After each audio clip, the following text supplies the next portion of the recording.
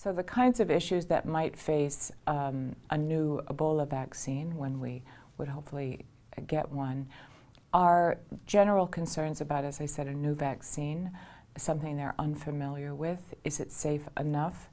Um, will it work? Um, and then there are the issues about trust in the provider. Uh, we've had some, I think that one of the best parallels is with polio. Here's a vaccine that was tested, proven, high efficacy for years, decades now, and we still have major issues.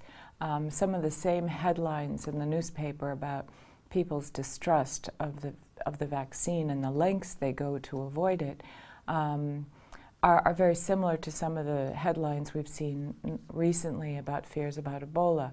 Um, not just Ebola itself, but the response, the distrust of the providers who are, are um, trying to administer, whether it's a vaccine or, or a, um, a control effort, um, especially if it's not people from the local village, the importance of familiar, trusted uh, providers, whether it's uh, health providers or people, caregivers, or in the case of Ebola, people coming to uh, do quarantine, um, help with burials. In the trust research, two key things determine what people's decision to trust someone.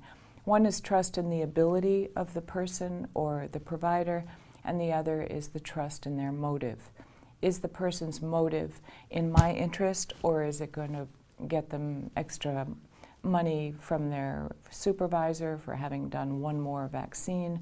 Uh, what is their motive in terms of you know, our population, why are these people so interested in coming to us? And in the case of uh, Ebola and the, and the situation in West Africa, the general immunization rates have dropped, plummeted.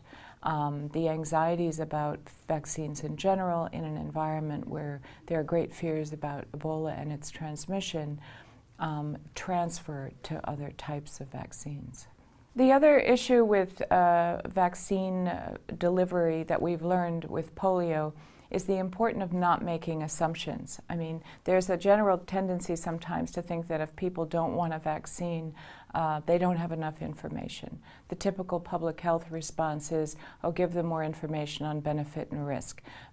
Give them more reasons why. And sometimes it's nothing to do with the information. There's something else about the delivery that they're uncomfortable with or distrusting.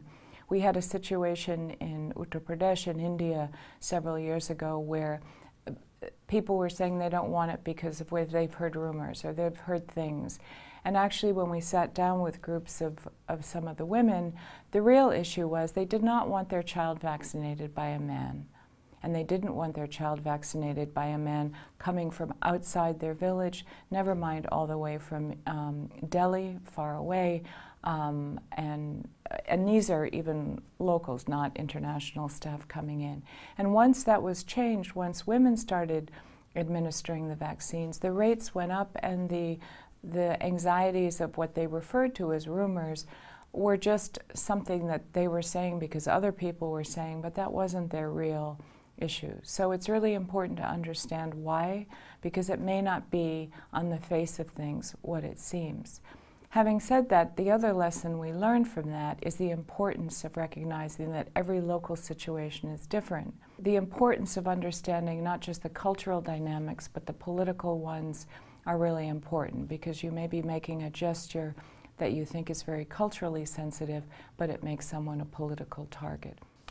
Well, I think in West Africa it's the, it, it's the same issue. I mean, some of getting the right trusted leaders, understand, getting the community, and, and not all um, formal community leaders are the trusted ones. So it's really important to understand from the local community who are the people that are trusted that may not be formal leaders but informal leaders, trusted whether it's religious or uh, the local school teacher or, or someone from the health center. Who do people trust? Who do they turn to in normal times, never mind times of emergencies, that uh, could be could be helpful. And we've seen in some settings it's really people coming from outside, of which there are many in the current response, that are, are really important to make sure that the already heightened anxieties are not aggravated but, but eased.